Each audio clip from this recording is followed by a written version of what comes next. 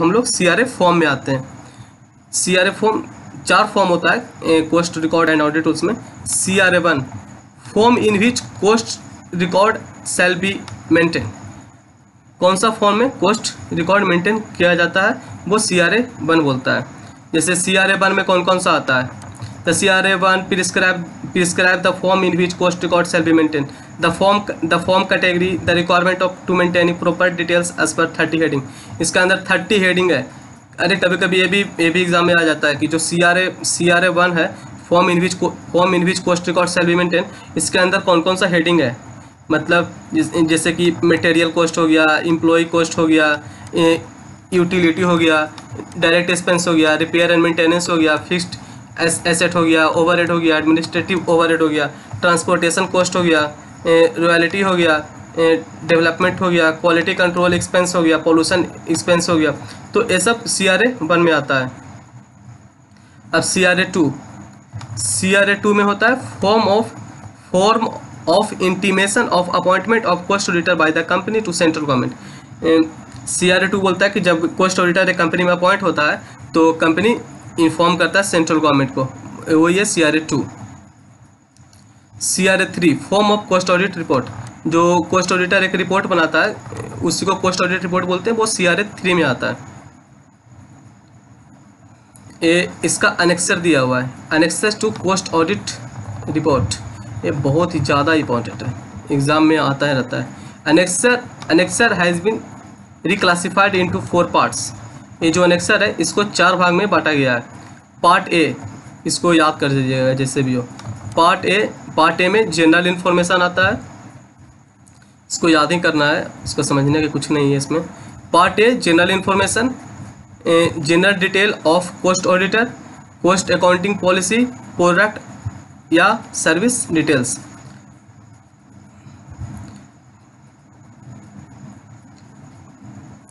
Part B में आता है manufacturing sector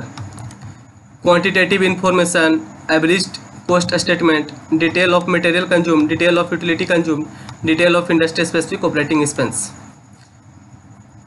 part C में आता है सर्विस सेक्टर सर्विस सेक्टर में इसमें भी सेम ही है ये जो मैनुफैक्चरिंग सेक्टर का जो भी क्वांटिटेटिव इन्फॉर्मेशन हो गया एवरेज कॉस्ट स्टेटमेंट वही गया सेम ही यहाँ पे भी quantitative information average cost statement detail of material consumed detail of utility consume detail of industrial specific operating expense अब पार्ट डी जो अनेक्सर है कोस्ट ऑडिट रिपोर्ट का पार्ट डी में है product and service profitability product and service profitability statement profit reconciliation value addition financial position and ratio analysis related party transaction reconciliation of indirect taxes C R A four form form number C R A four form of filing form of filing cost audit report report with the central government eh, जिस दिन जिस दिन company जिस दिन company receive करता है cost audit report उस दिन से 30 दिन के अंदर कंपनी का रिस्पॉन्सिबिलिटी बनता है कि वो सेंट्रल eh, गवर्नमेंट को इन्फॉर्म करे in C R F form C R F four form में within thirty days C R F four जैसे यहाँ पे देखिए कि जो शॉर्ट टाइटल डेफिनेशन हम लोग पढ़ चुके थे वही दिया हुआ है कि यहाँ पे 2014 में जो कोस्ट रिकॉर्ड आउट टू सब दो हज़ार में आया था thirty thirty June two thousand में आया था definition in this rule in this rule unless the context otherwise require जैसे एक्ट है तो कौन सा एक्ट के अंदर ये जो पोस्ट ऑडिट एंड रिकॉर्ड हुआ है कौन सा एक्ट के अंदर है ये कंपनी एक्ट 2013 के अंदर में है central excise tariff act heading means heading as referred in additional notes in first schedule of central excise tariff act ये जो फर्स्ट शेड्यूल अंदर में सेंट्रल एक्साइज टैरिफ एक्ट आता था अब तो एक्साइज तो एक्साइज ड्यूटी हट ही गया अब तो इनडायरेक्ट टैक्स में सेंट्रल एक्साइज आता ही नहीं है बट कहीं कहीं अभी भी एक्साइज ड्यूटी लग रहा है जैसे अल्कोहल हो गया जो भी पान मसाला तंबाकू वगैरह है इसमें अभी भी अभी भी एक्साइज ड्यूटी लग रहा है इसलिए अभी भी इसमें डेफिनेशन में रखा हुआ है जैसे कोस्ट अकाउंटेंट इन प्रैक्टिस क्या होता है cost accountant cost accountant practice means a cost accountant as defined in clause B of sub section one sub section one of section two of cost and Cost accountant act nineteen fifty nine who hold a valid certificate of practice hold a valid certificate of practice practice में तो होना ही चाहिए जैसे cost accountant practice cost accountant in practice क्या होता है cost accountant practice means cost accountant as defined in clause B clause B of sub section one of section two of cost of the Coast and Bucks Accountant Act 1959 who hold a valid certificate of practice under subsection 1 of section 6 of the act who who is deemed to be practiced under subsection 2 of the section 2 thereof includes a form मतलब cost accounting जो practice होता है वो firm भी हो सकता है form of cost accountant भी हो सकता है या एलएलपी भी हो सकता है लिमिटेड लाइब्रेटी पार्टनरशिप भी हो सकता है जो कि कोस्ट अकाउंटेंट का होना चाहिए अब कोस्ट अकाउंटेंट अब कोस्ट ऑडिटर क्या होता है cost auditor means a cost accountant in practice as defined in clause B who is appointed by the board of director अब देखिए cost audit report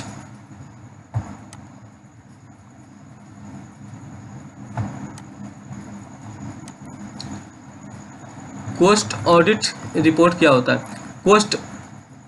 cost audit report means the duly signed duly signed by cost duly signed cost audit report on the cost record examined and cost statement which are prepare as per this rules including attachment annexure qualification observation attach with और included in such report post audit report वही जो में जो cost auditor बनाता है ना जैसे कि कोई भी कोई भी अटैचमेंट कोई भी पेपर अटैच किया चाहे कोई एनेक्सर बताया जिस जो एनेक्सर हम लोग ऊपर पढ़े थे चार तरह का एनेक्स चार एनेक्सर है कोस्ट ऑडिट रिपोर्ट का तो जैसे जैसे जो भी अनेक्सर है वैसे वैसे कोस्ट ऑडिट रिपोर्ट बनाएगा क्या क्वालिफिकेशन या ऑब्जर्वेशन कुछ अगर उसका कुछ मेरिट लगा मतलब कुछ अच्छा लगा तो वो भी लिखेगा या कुछ ऑब्जर्वेशन कुछ गलत लिखा कुछ गलत लगा कंपनी का वो भी कोस्ट ऑडिट रिपोर्ट में लिखेगा कोस्ट ऑडिटर अब कोस्ट रिकॉर्ड क्या होता है cost record means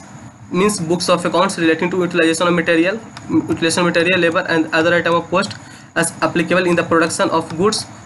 और provision of services as provided in section 148 of the company act institute होता है वही institute of cost accountant of India constituted under cost and works accountant act nineteen fifty nine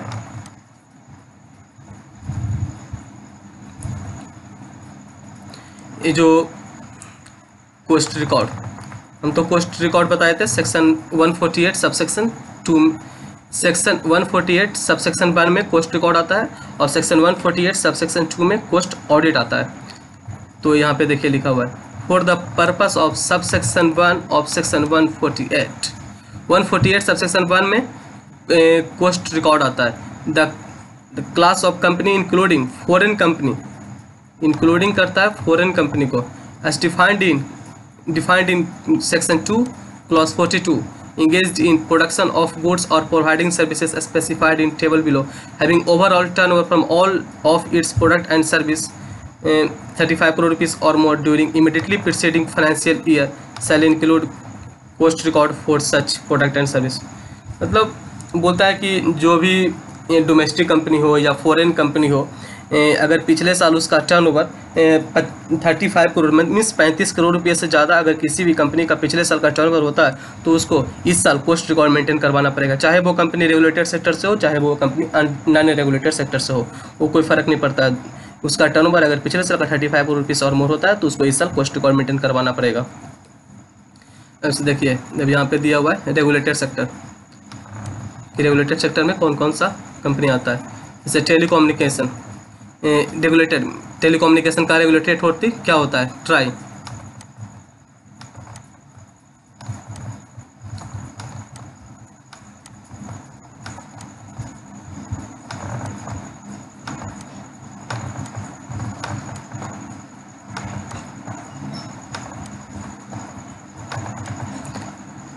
telecom regulatory authority of India के अंदर telecommunication आता है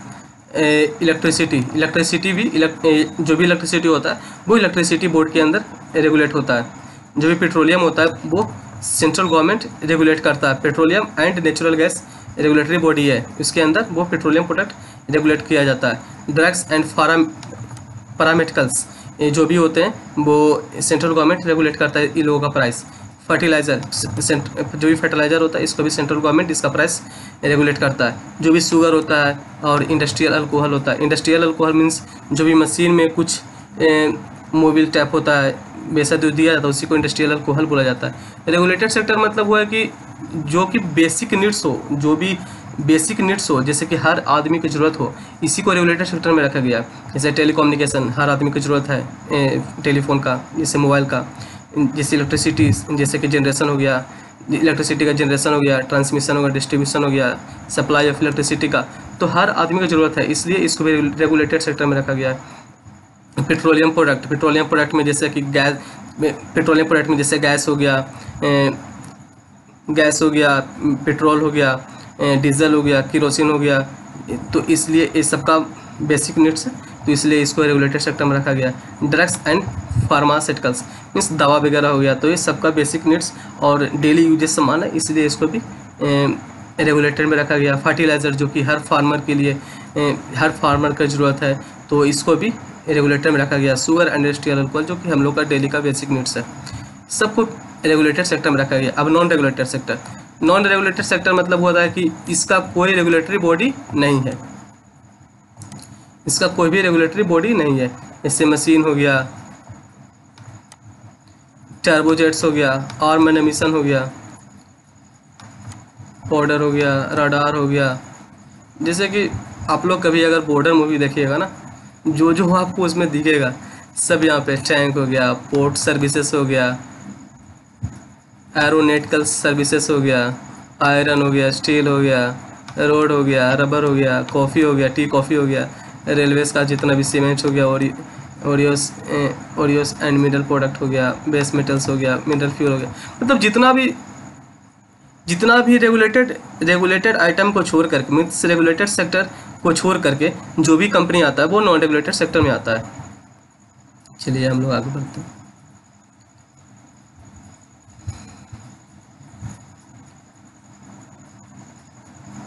हम लोग post applicability of Cost audit. Every company as specified in item A of Rule 3 shall get its cost record audited in accordance with these rules. Overall annual turnover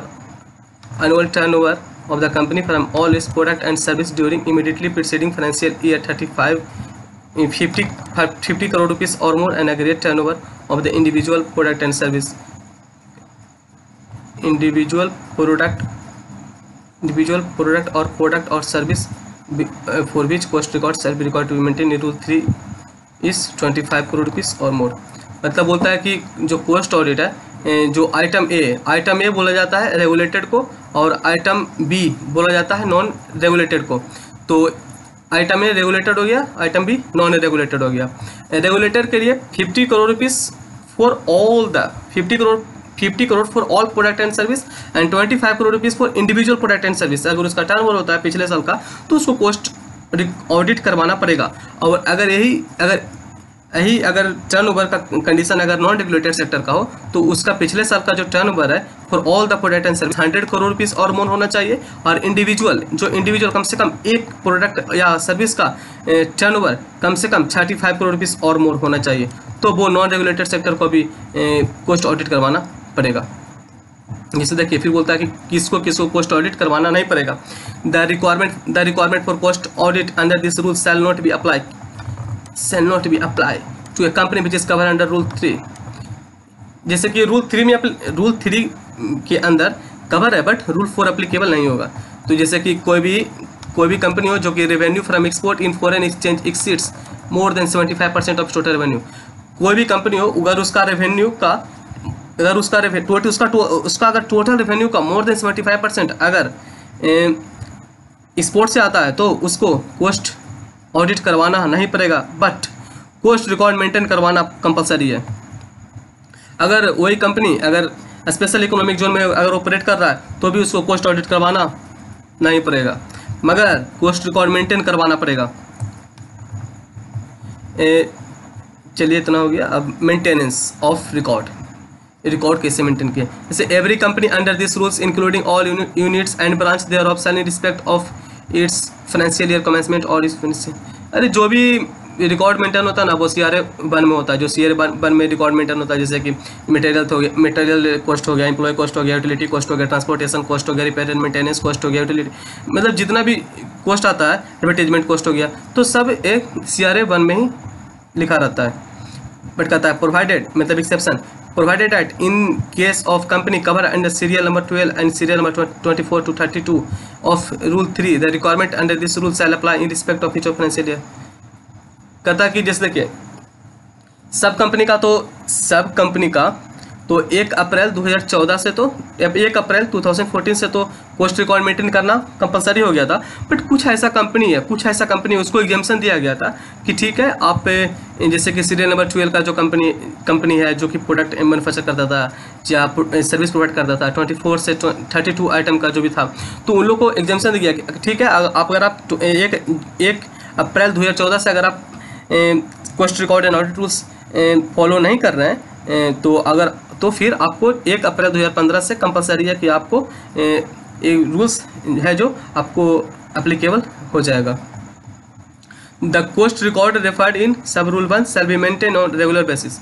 ये जो cost record maintain होता है वो regular basis में होता है जैसे आप अगर आप एक बार अगर cost record and audit rules अगर आप आपके कंपनी पे इंप्लीमेंट हो चुका हो गया तो वो जीवन भर आपके कंपनी पर आपके कंपनी पर अप्लीकेबल रहेगा चाहे आपका चाहे अगले साल से आपका कंपनी का टर्नओवर एक रुपया क्यों नहीं हो अगले साल से अगर आपका कंपनी का टर्नओवर एक रुपया क्यों नहीं हो फिर भी आपका कंपनी को post record and audit rules maintain करवाना कंपलसरी है चलिए आगे बढ़ते हैं पोस्ट ऑडिट बोलता है the category of company specified in rule three rule three वही जो एप्लीकेशन ऑफ पोस्ट रिकॉर्ड होता है थ्री लिमिट जो रूल फोर होता है applicability of post audit within one hundred days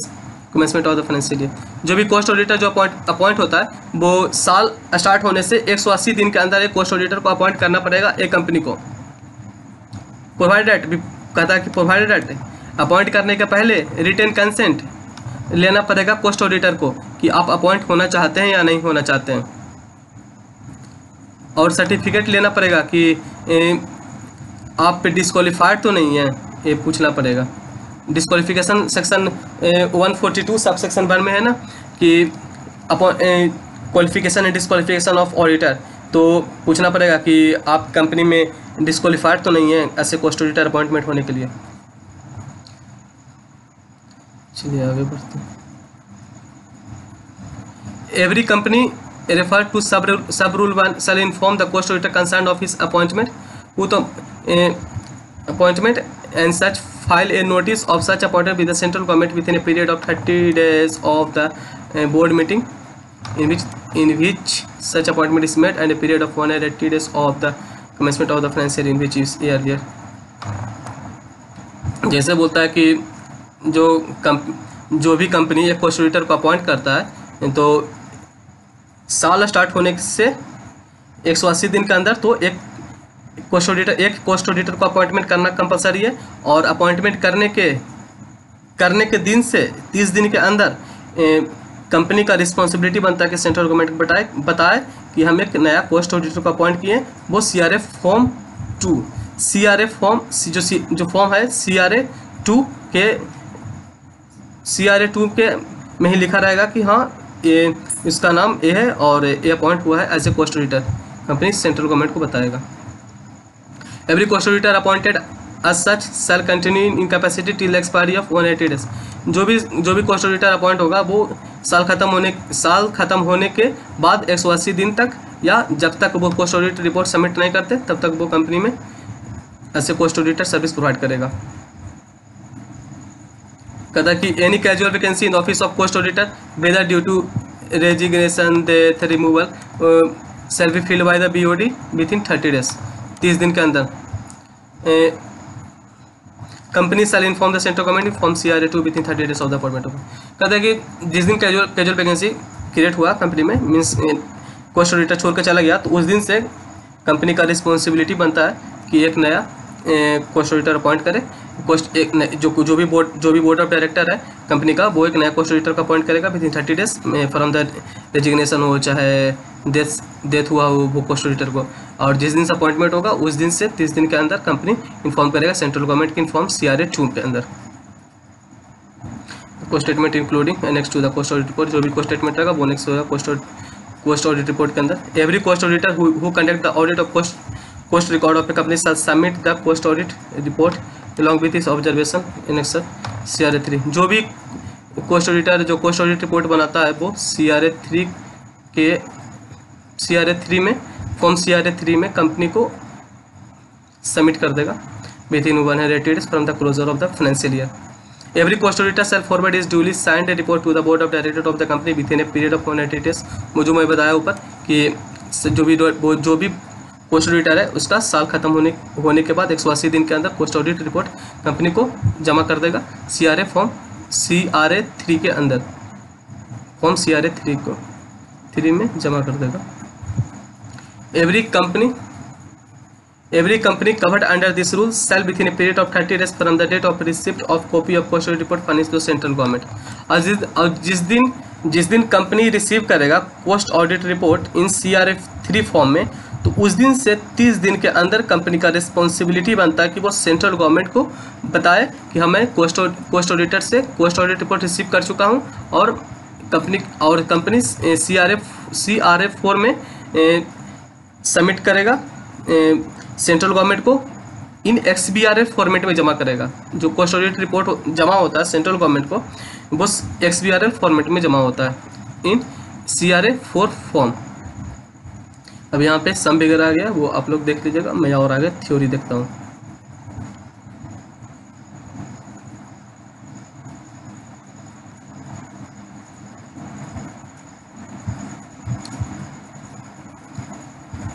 जैसे कि यहाँ पे दिया हुआ है cost audit documentation cost audit documentation means material including working paper prepared by and for और obtained and retained by cost auditor एक जो भी कोस्ट ऑडिटर ऑडिट करता है कंपनी में तो ऑडिट डॉक्यूमेंटेशन बनाएगा बर्की पेपर बर्की पेपर मतलब जो भी एक पेपर में लिखेगा कि एक कौन कौन सा काम एक कंपनी अच्छा किया है कौन कौन सा काम खराब किया है तो जो ही ऑडिट डॉक्यूमेंटेशन होता है ये यहाँ पे ऑडिट स्टेज ऑडिट का तीन स्टेज होता है पहला प्लानिंग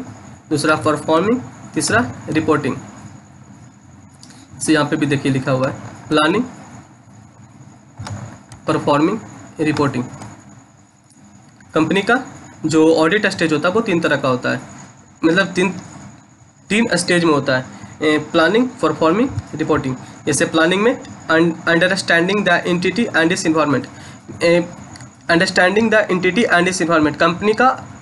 कंपनी का कंपनी को अंडरस्टैंड करेगा और उसका इन्वायरमेंट को अंडरस्टैंड करेगा post auditor risk identification and strategy company का कंपनी को देखेगा कितना रिस्क उठा कितना रिस्क कंपनी उठाता है और उसका स्ट्रेटजी क्या है कंपनी का risk and materiality assessment company कितना रिस्क रिस्क लेता है और उसका मेटेरियलिटी स्टेटमेंट जो भी वो जो भी वो बिजनेस करता है वो उसका मेटेरियल मटेरियलिटी कितना है और नॉन मेटेरियलिटी कितना है प्लानिंग हो गया अब परफॉर्मिंग मीन्स जो भी जो भी इंटिटी जो प्लान बनाता है वो एक्सिक्यूट करता है कि नहीं ऑडिट एक्सिक्यूट एक्सिक्यूशन करता है कि नहीं जो भी प्लान बनाता है जो रिपोर्टिंग रिपोर्टिंग मतलब कंक्लूजन क्या है कंक्लूजन क्या है और रिपोर्ट करता है cost auditor board of director of a company को इन सी आर ए थ्री के अंदर वही तो मैं हम लोग बताया ऊपर जो ऑडिट का जो स्टेज है वो पहला प्लानिंग है सेकंड स्टेज है परफॉर्मिंग जो थर्ड या फाइनल स्टेज है वो रिपोर्टिंग कॉन्क्लूडिंग बोलिए कॉन्क्लूडिंग एंड रिपोर्टिंग सेम ही है प्लानिंग ऑडिट का जो प्रोसेस है सेम ही यहाँ भी लिखा हुआ है डायग्रामेटिक फॉर्म में प्लानिंग परफॉर्मिंग रिपोर्टिंग यहाँ पे देख लीजिएगा ये practical steps of audit process practically कैसे ऑडिट किया जाता है प्रैक्टिकली कैसे ऑडिट किया जाता है by cost auditor in a company जैसे स्टेज वन में लिखा हुआ है कि objective of audit and management outlook objective of audit audit करने के पीछे का ऑब्जेक्टिव क्या है क्या ऑब्जेक्टिव है क्या है कि क्या ऑब्जेक्टिव है कि कंपनी कंपनी को कोस्ट ऑडिटर को अपॉइंट करना पड़ा ऐसे कोस्ट ऑडिट करवाने के लिए इससे कोस्ट ऑप्टिमाइजेशन या और कोस्ट रिडक्शन जैसे कि कंपनी को कंपनी देख रहा है कि जो भी जो भी वो कॉस्ट कॉस्ट ऑफ प्रोडक्शन जो कर रहा है कंपनी वो बहुत ज़्यादा हो रहा है कॉस्ट ऑफ प्रोडक्शन किसी प्रोडक्ट का और सेम प्रोडक्ट का प्रोडक्शन अदर कंपनी कर रहा है उस, उसी का उसी का कोई भी कंपिटिटर तो वो प्रोडक्ट कम प्राइस में प्रोड्यूस कर रहा है इस कंपनी को ज़्यादा ज़्यादा पैसा लग रहा है प्रोड्यूस करने में सेम प्रोडक्ट तो वो कॉस्ट वो कॉस्ट रिडक्शन करने के लिए एक नया कॉस्ट ऑडिटर को अपॉइंट करता है कि कॉस्ट रिडक्शन हो सके प्रोडक्ट का checking the parameter of operas operational efficiency of unit या यूटिलिटी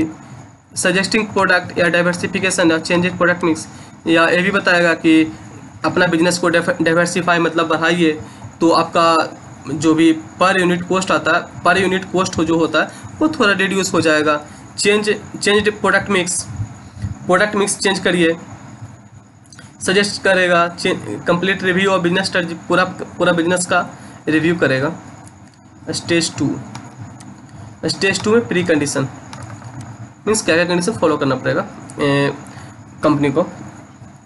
जैसे ऑब्जेक्टिव ऑफ कॉस्ट ऑडिट जो भी ऑब्जेक्टिव होता है कॉस्ट ऑडिट का वो फुलफिल करना पड़ेगा कंपनी को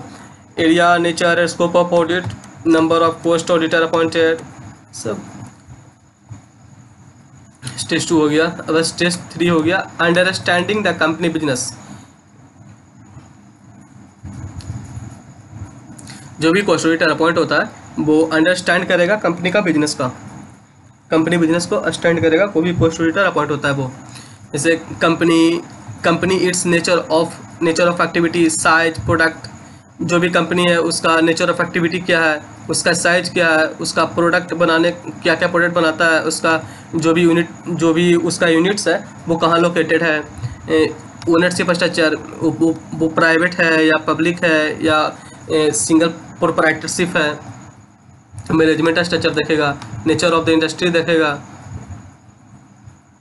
नेचर ऑफ इंडस्ट्री मतलब रेगुलेटेड हो गया है कि या नॉन रेगुलेट नॉन रेगुलेटेड है the applicability of regulatory framework financial reporting cost reporting ये भी देखेगा कि जो भी रेगुलेटेड सेक्टर है वो रेगुलेटेड सेक्टर कंपनी है वो अच्छा से रेगुलेट हो रहा है या नहीं हो रहा है अब स्टेज फोर में आता है प्लानिंग द ऑडिट ऑडिट को कैसे प्लान करेगा as a cost auditor timing dates and duration number of days of cost number of days of audit period including to visit a cost auditor plan करेगा कितना दिन के अंदर वो cost audit complete कर देगा जिस दिन से वो प्लांट विजिट किया level and number of audit personnel कितना नंबर को वो कितना नंबर ऑफ कितना नंबर ऑफ कोस्ट ऑडिटर जाएगा तो वो कोस्ट ऑडिट को इतने टाइमली कंप्लीट कर सके audit partner to be deployed inspected date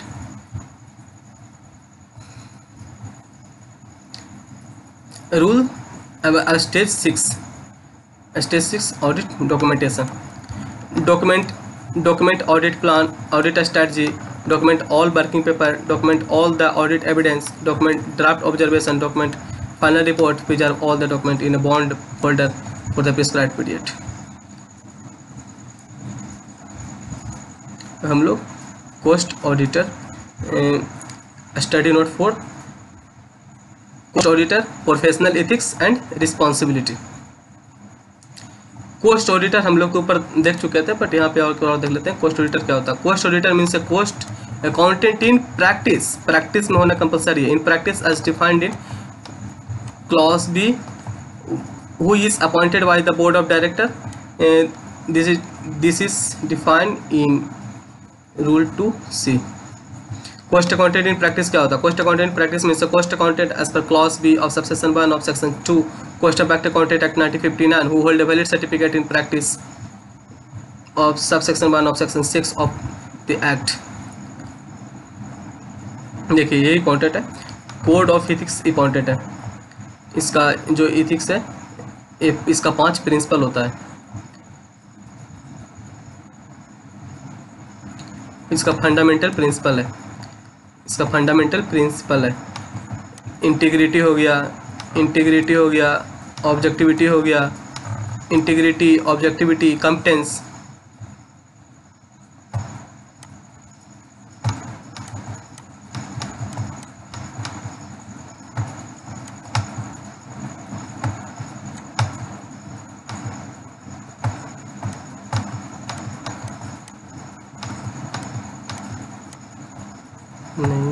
eraser ऊपर है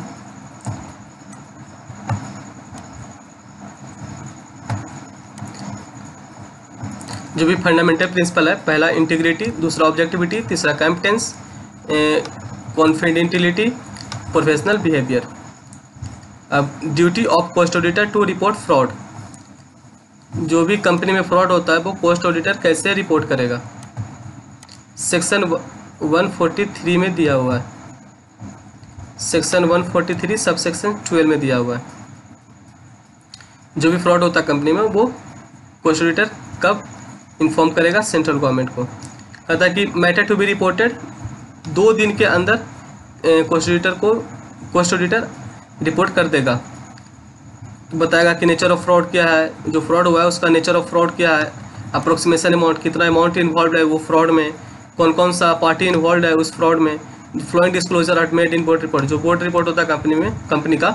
उसमें भी लिखा रह, रहना चाहिए कि नेचर ऑफ फ्रॉड क्या था या nature of fraud with description approximation amount involve कितना अमाउंट इन्वॉल्व था वो फ्रॉड में ए, कौन कौन सा पार्टी इन्वॉल्व था रिमेडियल एक्शन टेकन और क्या क्या उसके अंदर उसके बाद रिमेडी लिया गया कंपनी के द्वारा ये जो देखिए effect if an auditor cost accountant or company secretary in practice do not comply with provision eh, shall be punishable with fine अगर वो कम अगर वो कोस्ट अकाउंटेंट हो या कंपनी सेक्रेटरी हो या चार्टेड अकाउंटेंट हो अगर वो रिपोर्ट अगर फ्रॉड का जो रिपोर्ट है नहीं करेगा सेंट्रल गवर्नमेंट को तो कम से कम एक लाख से लेकर के पच्चीस लाख तक उसको फाइन देना पड़ेगा अगर रिपोर्ट नहीं किया पोस्ट ऑडिटर हो चाहे कंपनी सेक्रेटरी हो चाहे चार्टेड अकाउंटेंट हो रिपोर्ट नहीं करेगा सेंट्रल गवर्नमेंट को तो यहाँ पे देखिए लिखा हुआ है if an auditor of a company in the course of performance of his audit has reason to believe that offence involving fraud is being or has been committed against against by the company officer or employee he shall immediately inform he shall immediately report the matter to the central government central government को बता देगा within such time or such matter चलिए punishment for fraud section 447 में आता है without prejudice to any liability including repayment of any debt under under this act or any or other law for the time being in force any person who is found to be guilty of fraud shall be punishable with imprisonment for a term of term he shall not be less than six months of which will extend up to 10 years we shall also be liable to a fine fine which shall not be less than the amount involved and but which, be, which may be extended to three times of the amount involved the fraud provided at they are the fraud in the question call public interest अगर अगर वो fraud public interest interest का हो तो imprisonment imprisonment shall not be less than three years जैसे जो 447 के अंदर जो फ्रॉड होता है जो 447 के अंदर जो फ्रॉड होता है अगर कोई भी आदमी अगर 447 के अंदर फ्रॉड करता है तो उसको कम से कम छः महीना कम से कम छः महीना से लेकर के दस साल तक उसको जेल होगा और अगर वो पब्लिक इंटरेस्ट में अगर फ्रॉड करता है तो कम से कम तीन साल से दस साल तक उसको जेल होगा और जो पेनल्टी लगेगा उसके ऊपर वो जितना वो जितना भी अमाउंट का वो फ्रॉड किया उतना और, और maximum three times of debt fraud involve fraud amount involve maximum three times अब देखिए punishment for forth statement punishment for forth statement under section four forty eight as otherwise provided in this act in any return report certificate financial statement prospectus statement or other document required required by or the purpose or purpose or purpose of any of the provision of this act the rules made the person statement which is false in a material which is omit in a material fact जैसे बोलता है कि कोई भी company हो return से related झूठ बोलता है या रिपोर्ट से रिलेटेड झूठ मिलता है या प्रोस्पेक्टस से रिलेटेड झूठ बोलता है कोई भी कंपनी तो उसको 447 के अंदर वो फ्रॉड के अंदर माना जाएगा और उसको सेम पेनल्टी जो यहाँ पे है मिनिमम जो भी उसका जो डायरेक्टर है वो minimum six month six month से दस साल अगर वो पब्लिक इंटरेस्ट में के अंदर आता है तो minimum three years to ten years और जो अमाउंट इन्वॉल्व है और जो पेनल्टी है एज ए मोनिटरी टर्म है अमाउंट इन्वॉल्व और maximum three times of debt fraud